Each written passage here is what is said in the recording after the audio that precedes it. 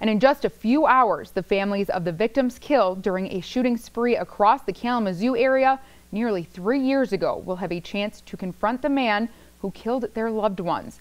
Jason Dalton is scheduled to be sentenced this morning to life in prison without the possibility of parole. He pleaded guilty to all 16 counts against him last month.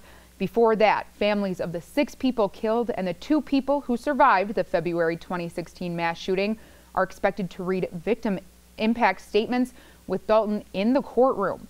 Dalton will have a chance to speak himself, but it's not clear if he will.